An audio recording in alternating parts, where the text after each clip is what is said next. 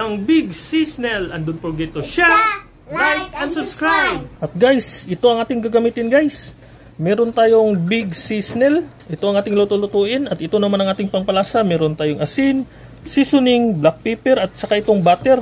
At gagamit din tayo ng mantika at saka itong pisos o, o patis. At ito namang iba pa nating sangkap. May gagamit tayo ng mushroom. Gagamit din tayo ng bagyo beans o green beans. At gagamit din tayo ng sibuyas, luya, uh, itong atsal, ahos, at saka sibuyas, dahon.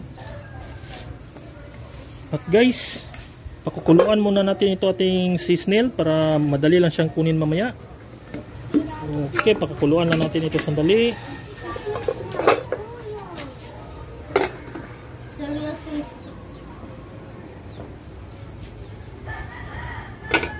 Okay, at pwede na natin kunin itong ating si seasonals guys. Medyo okay na to. At ilipat natin. Pal palalamigin lang muna natin to guys. Sandali. At guys, maghihiwa na tayo ng ating mga sangkap o ating mga lamas. Uunahin natin itong ating sibuyas.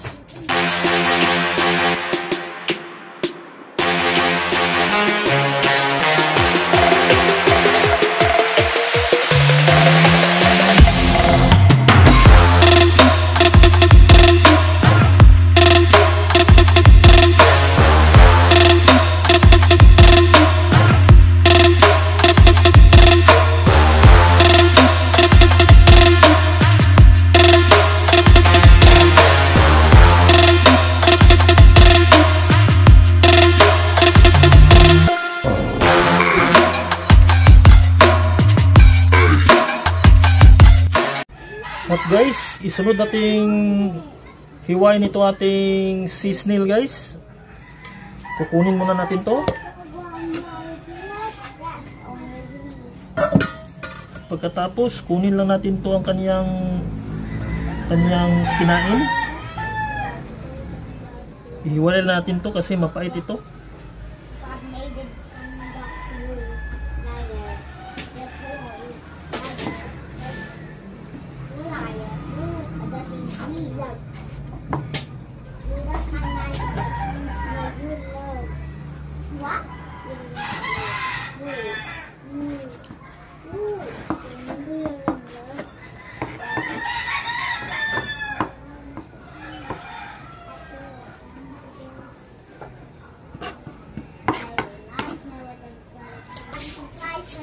At guys, hihiwain lang natin ito ng maninipis kasi matigas din to.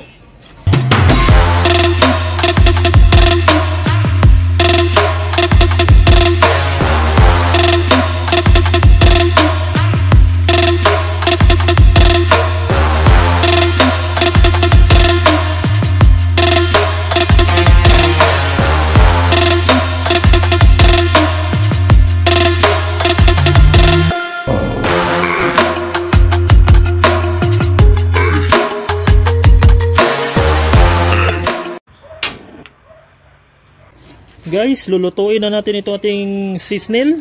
Maglagay na tayo ng mantika. Guys, maglagay na tayo ng ating ahos.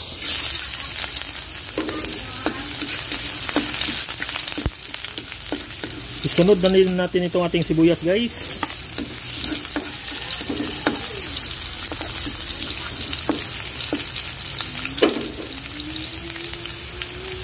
At ilagay na din natin ito ating luyo, ating ginger.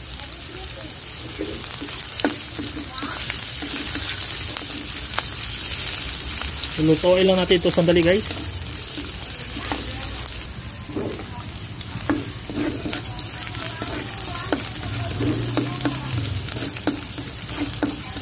At guys, ilagay na natin itong ating seasonals.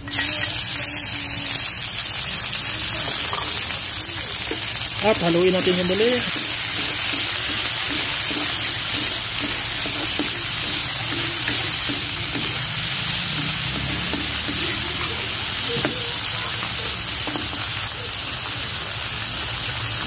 At ilagay na din natin itong ating black pepper guys.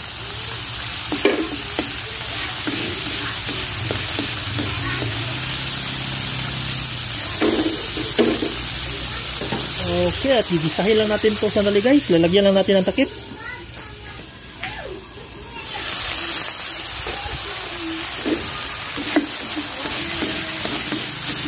Okay, pagkatapos itong magisa guys, ilagay na natin itong ating butter guys.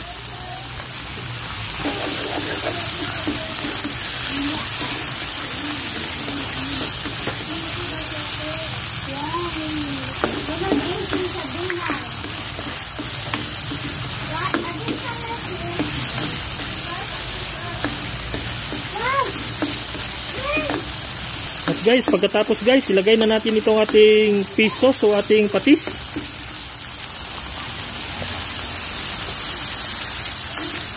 Lagyan lang natin siya ng medyo madami-dami. Okay. At lulutuin natin ito sandali guys.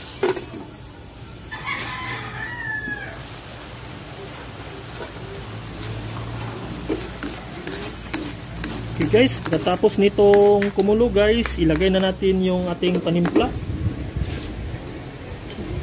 Ilagay na natin ito ating white sugar.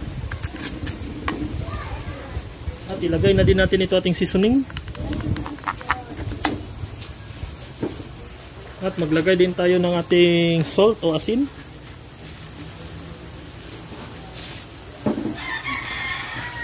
At haluin natin.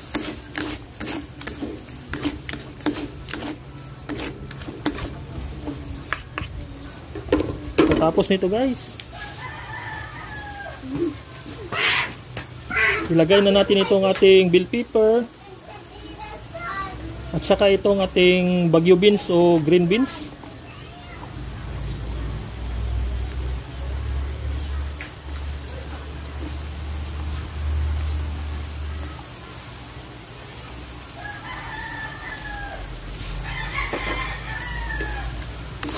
Okay.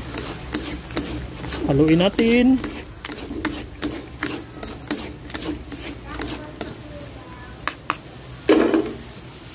At pakukuluan ulit natin to guys.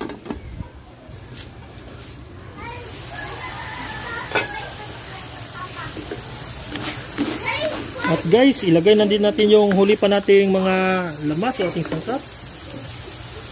Ilagay na natin ito ating mushroom. At isunod din natin ilagay ito ating sibuyas na puti. At haluin natin ulit.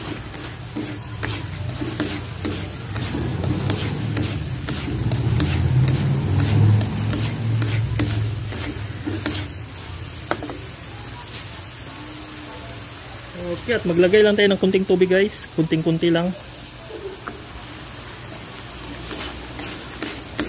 Para hindi siya maging dry.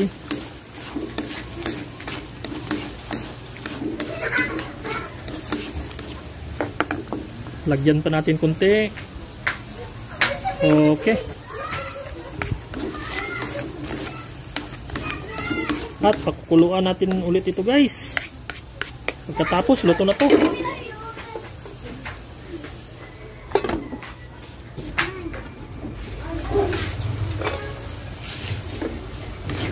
Okay, at luto na to guys.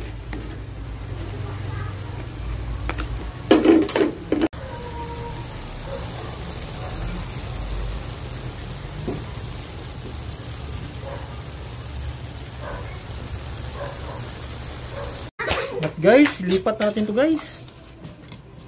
Maglagay tayo dito. At maglagay din tayo dito sa ating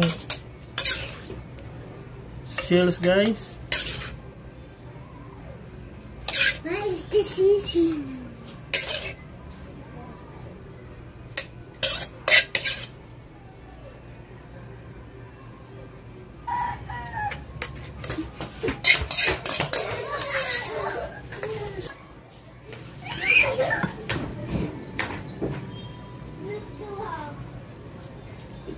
At guys, ito na guys, luto na ang ating Big Seasonals. Ang sarap nito guys. Meron din siyang halong mushroom. Bagay siya sa seasonals guys. Kung gusto niyo magluto ng ganito guys, pwede din yung ganayahin yung niluluto ko guys. Malaki itong seasonals guys. Malapit itong mag isang kilo. Okay, at meron din akong ilagay dito sa kanyang shell guys. Medyo siya ma ano guys, ma Masim-masim pero ang sarap nito guys. Lalo at meron siyang butter. Bagay talaga siya sa butter guys. Okay. At luto na ang ating big sea snails. Ang sarap nito guys. Okay. Hanggang dito na lang. Don't forget to share, like, and subscribe. Bye-bye!